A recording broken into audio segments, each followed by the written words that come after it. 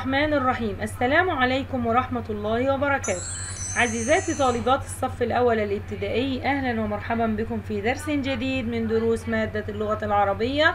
الصف الأول الابتدائي مدرسة المجتمع الخاصة للبنات. فصل الدراسي الأول.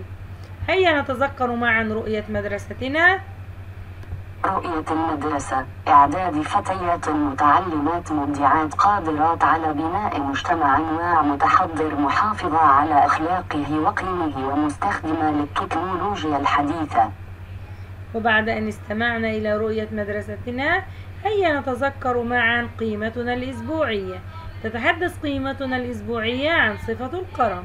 فالكرم هو أن تعطي أكثر من استطاعتك وعزة النفس هو أن تأخذ أقل مما تحتاج. من كرم الله علينا أنه يعطيك المال ثم يلهمك أن تتصدق به ثم يسخر لك فقيرا يأخذها ثم يقبلها منك ثم يبارك لك في رزقك الذي هو أعطاك إياه. فقد قال رسولنا الكريم من كان يؤمن بالله واليوم الآخر فليكرم ضيفه. هيا لنقرأ معا هذه الكلمات. فلنتهجأ الحروف تهجئة صحيحة. البحري. أبي. أبي. أحب. ضابط. سنقوم اليوم. سنتعلم كيفية كتابة الحروف بشكل صحيح. داخل الكلمات. وسنتعلم أيضا كتابة كلمات غيب من خلال الهجاء الصحيح. من خلال مهارتي الخط والإملاء. هدفنا لهذا اليوم أن تكتب الطالبة جملة الخط بخط نسخ مقروء.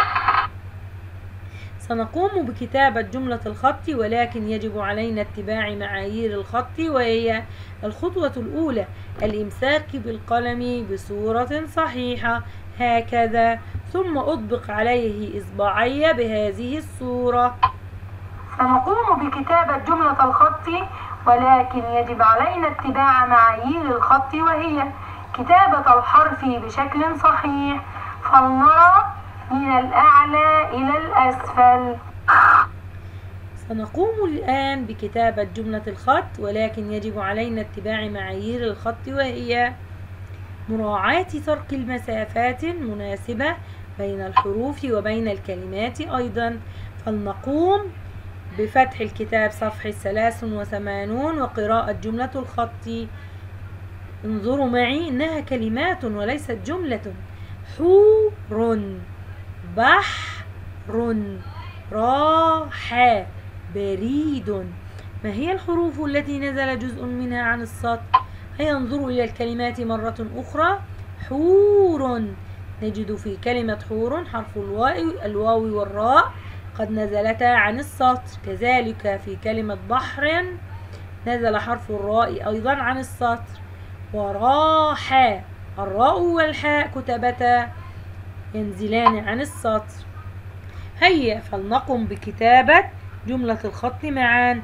لنرى الكتابة الصحيحة. للأحرف فنكتب حرف الحاء في فوق السطر ويبدأ بالكتابة من اليمين إلى اليسار. حور.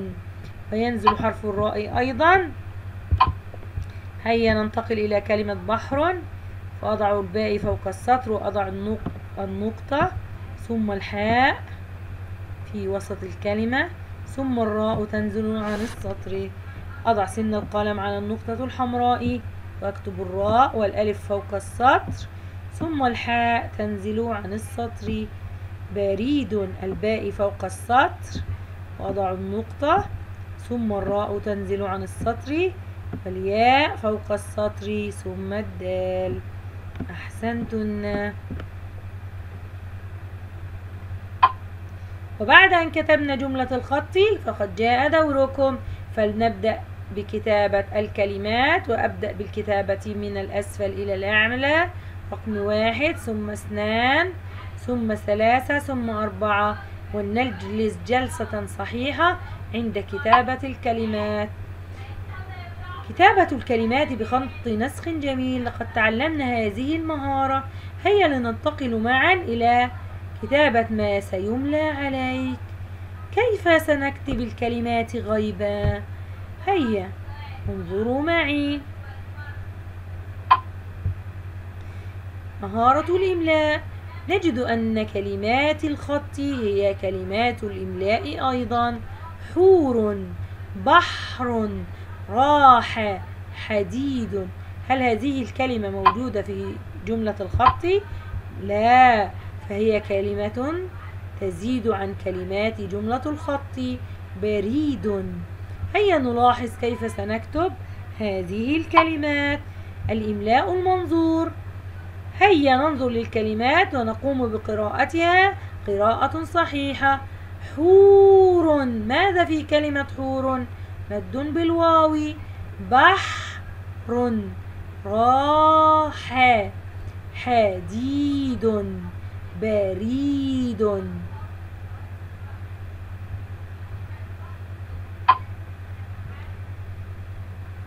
هيا لنشاهد بعض الكلمات ثم نكتبها سبوريا. غيبا حور بحر راح. حديد. هيا لنكتب الكلمات غيبا. حور. بحر. راح. حديد. بريد.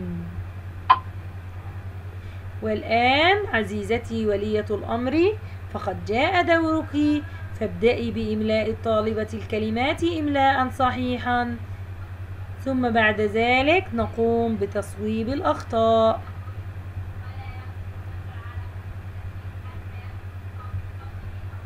انتهت حصتنا لهذا اليوم وإلى لقاء في درس جديد من دروس مادة اللغة العربية. والسلام عليكم ورحمة الله وبركاته.